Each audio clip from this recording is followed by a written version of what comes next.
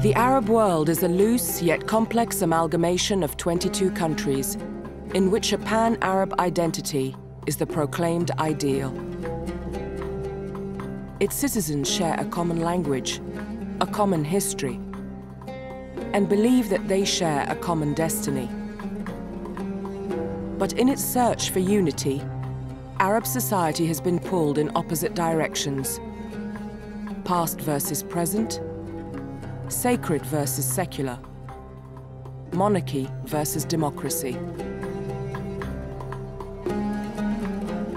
The story of the struggle for Arab unity is entangled with the modern history of the Middle East, and both are steeped in conflicting ideologies, revolution, oppression, betrayal, and war. Without a clear analysis of issues like identity, loyalty, and self-determination, can Arabs ever address the gap between the reality and dream of unity?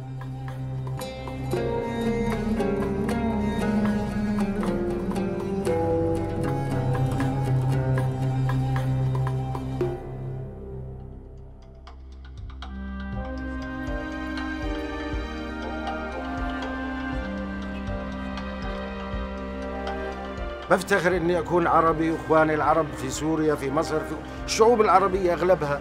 يعني بتحب بعض. طبعا هويتي الثقافية والدينية ولغتي العربية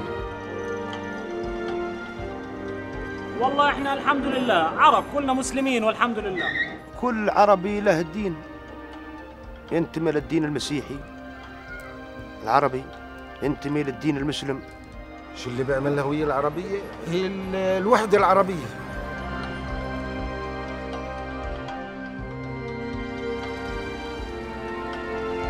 feeling that you belong to a universe that extends from Mauritania or Morocco in the west all the way to Iraq and Bahrain on the east.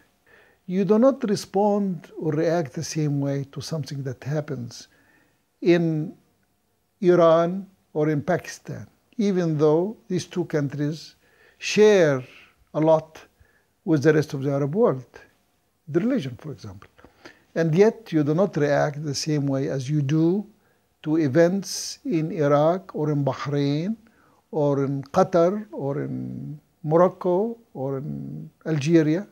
And that is, again, that is a feeling of identity. It has a boundary, virtual boundary, a boundary that is more than geographic. It is emotional, sentimental, uh, virtual in that sense, moral boundary. The Arab world covers a vast geographic landscape. Great mountain ranges crisscross two continents, Africa and Asia, acting as barriers separating farmland and coastal strips from the virtually uninhabited deserts in a region stretching from the Atlantic shores of Morocco to the Gulf. Traditionally, the Bedouin of the deserts have had a totally different pattern of living in comparison with the people living in the great river valleys of Iraq and Egypt and the urban societies of the Mediterranean. But whatever differences Arabs have, they have three things in common. They all speak Arabic, 95% of them are Muslims, and all of them, at some point and in different ways, have wanted unity.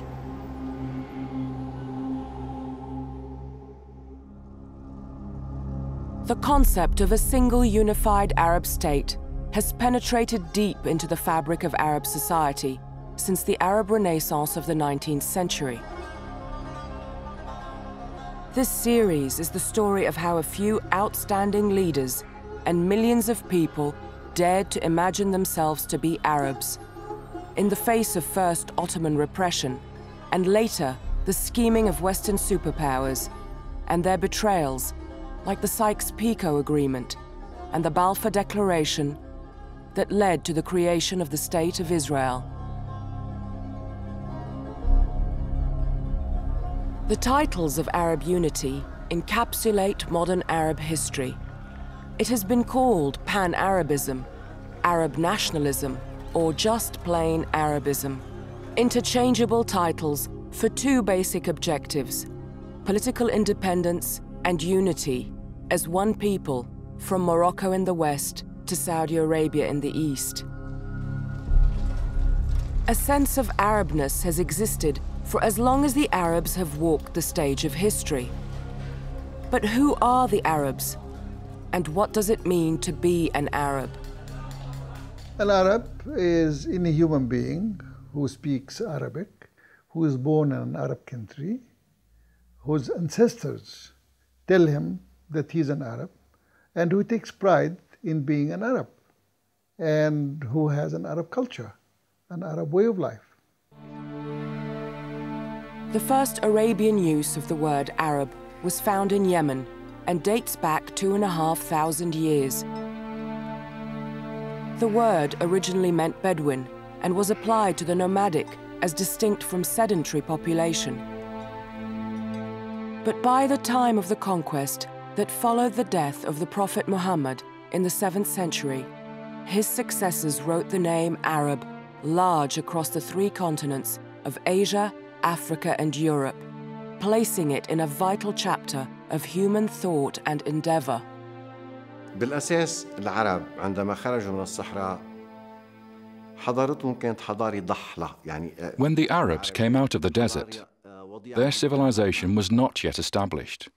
مش انه ما عندنا حضاره ولكن لا تقاس بالحضارات المجاوره مثلا ما في قيسها بالحضاره البيزنطيه We cannot compare it to that of Byzantine, or Persian, or Greek culture. الهلينيه او حضاره الحضاره الاغريقيه But with the appearance of Islam and the Islamic conquest, Arab contact with these other civilizations was the beginning of a cultural exchange. بدا التفاعل الحضاري this cultural exchange established a flourishing civilization, and though its creators were not purely Arab or Muslim, its chief medium of expression was Arabic, and it was dominated by Islam and the Islamic outlook on life.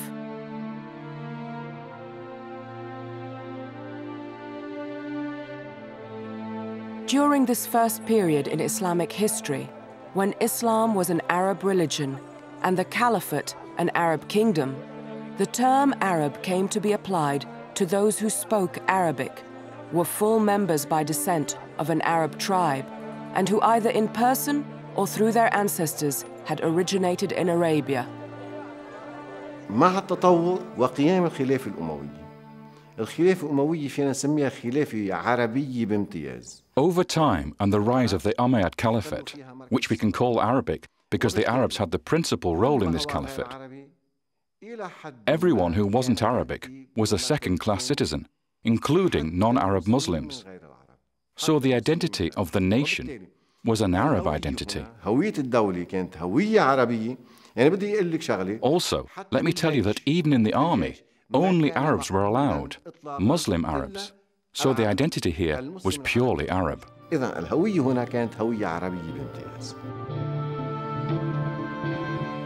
However, from the 8th century onward, this identity was changed from an Arab to an Islamic identity. Membership of the ruling group was now determined by faith rather than by origin. As increasing numbers of the conquered peoples were converted to Islam, the religion ceased to be the privilege of the Arabs and acquired the universal character that it has retained ever since encompassing non Arab peoples such as the Ottoman Turks, who went on to dominate the region. And for nearly 400 years, Arabs became fully reconciled in the Ottoman Empire. Arabism as a concept started in the mid 19th century as a direct reaction to the decline of the Ottoman Empire.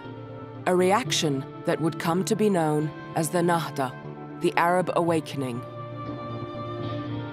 في مطلع هذا القرن عندما انهارت الخلافة العثمانية At the beginning of this century, with the fall of the Ottoman Caliphate, we asked ourselves, who are we?